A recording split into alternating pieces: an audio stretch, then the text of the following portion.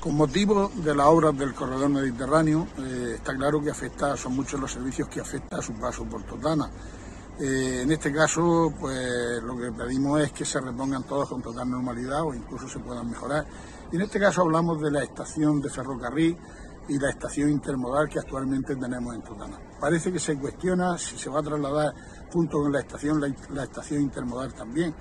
Eh, y dado a la incertidumbre que tenemos, pues desde el Partido Popular presentamos para el Pleno eh, del mes de noviembre una, iniciativa, una moción en la que se inste al Ministerio de Fomento a que el servicio se quede completo en la nueva estación, eh, se quede con y, se quede completo como actualmente lo tenemos.